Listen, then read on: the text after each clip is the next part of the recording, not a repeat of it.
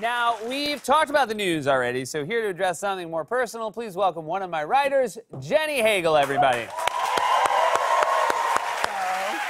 How's it going, Jenny? Hi, Seth. So, uh, what is it that you want to talk about? Well, this weekend I took my four year old son to the zoo, and while we were there, I saw something that really upset me. And what was that? While I was in line to buy tickets, I saw two straight women pretend to be gay so they could get a family discount. Oh. Yeah. I'm gay, and it was very clear that they were lying. And when the ticket agent didn't believe them, they started yelling loudly about how the zoo is not gay friendly. Did it work? Did they get the discount? They did not. They had to pay eight more dollars, and they were pissed. So, if it's okay with you, I just wanted to take a moment to deliver a message to the two women I saw at the zoo. Okay. Don't pretend to be a lesbian to save $8.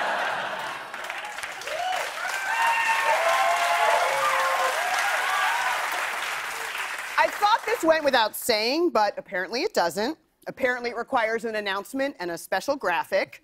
So don't pretend to be a lesbian to save $8. I don't think this is something that's happening a lot, but just in case it is, I thought I should say it. So, being gay is a real thing.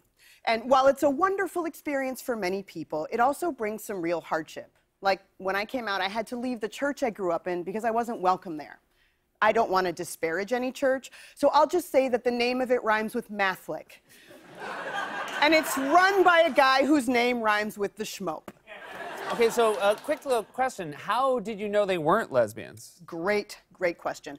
They were each pushing a double stroller, which means if they were married to each other, they'd have four kids. No one can afford to have four kids in New York. You'd have to be billionaires.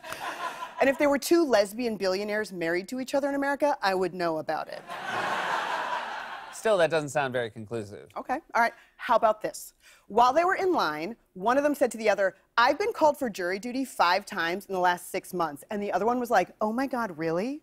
If you got called for jury duty five times in six months, your wife would know about it. You wouldn't keep it secret, quietly getting out of it five times in a row, and then finally think, I need to tell Brenda about this. But I need to wait until we're at the zoo.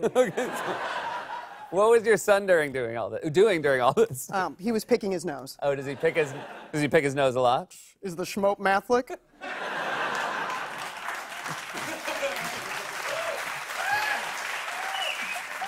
Look, I get it. Everyone wants to be a lesbian. We're seen as very cool, stylish people with great shoes and haircuts.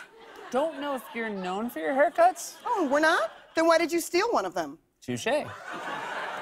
But if there's one thing we can all take away from the story, it's, and, and everyone please say it with me, don't pretend to be a lesbian to save $8.